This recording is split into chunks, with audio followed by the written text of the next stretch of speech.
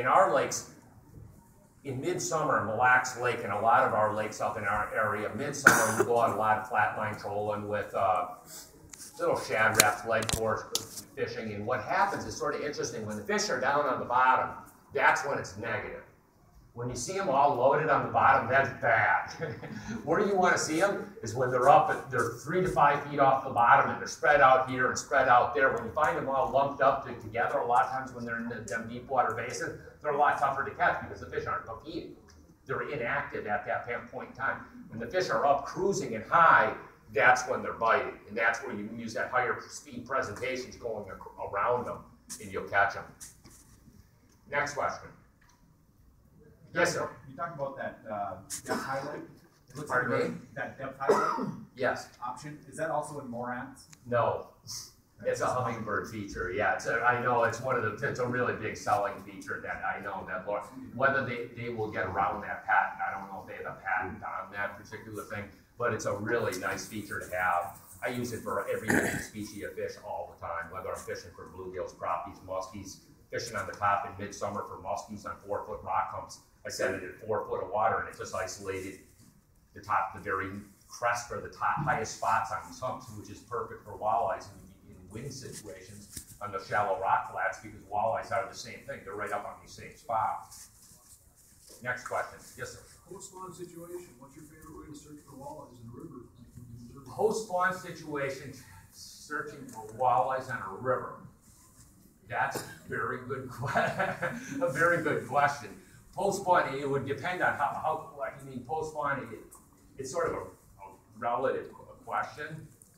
I'd say I would be jigging. I'd be probably more dragging jigs, fishing slower. I, I would anyway, in, in that general thinking. I, that's what I would do. One thing that's really important to realize when you ask about that, one thing you, within these systems, particularly these really big bodies of water, not all the fish are doing the same thing at the same time.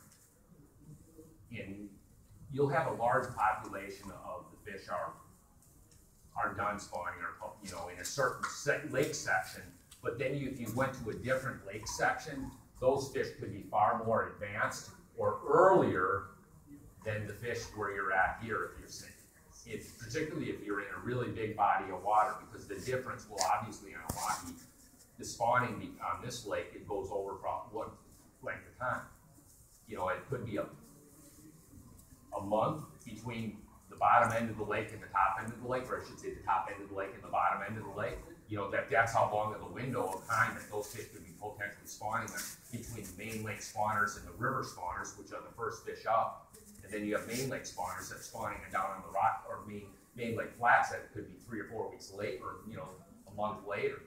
And that's true with all different species. The exact same thing with bass. The main lake versus the river fish. The river fish are usually the first ones in. You know what I mean? So after they're done, it's a, it's a it's an interesting question. I don't know if I quite answered answered it the way you would like it. If you tell me a specific lure or you know what I mean. There seems to be dispersal from the spawning location. Correct. And then when the fish spread out based on the forage, you know, how do you break down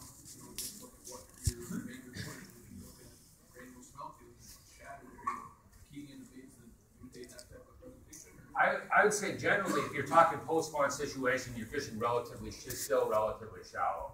A lot of times, in most cases, the fish don't turn around and bolt down into deep water, and there's a real specific reason for that because the water's warming up. And a lot of times, what we've got a lot of different types of forage are actually going in to spawn. So you actually have like this lingering effect of why those fish aren't leaving those back creek arms and stuff, and they sit in there for a pretty extended period of time. You go to the north end of uh, and the fish are dumping out of the river up in the, you know, what is that, Pelican? Pelican? Yeah, they're dumping out of Pelican, and you've got all those big shallow flats in there, and those fish are gradually coming down those flats. So those those big, expense, extensive food shelves up in that area are the first place those fish are going to. First developing weed beds, like in that particular situation. Next question. That's a, it's a, it's a complex question. It's not one of those things where you can sit there and do and say that and that. Anything else? On the jigging route, just straight from the, from the Uh, no, normally you, you put a ten inch, uh, piece of like fluorocarbon leader in a barrel swivel, and that's to present line twist. This bait, when you're dropping it down and ripping it up, a lot of times what that bait is doing is taking and it's actually spinning. When you rip it up and then it spins like this, so what you wanna do is that bar- barrel swivel will definitely help minimize, uh, line twist. And of line twist in your, uh, reel. Yes, sir. Any other questions?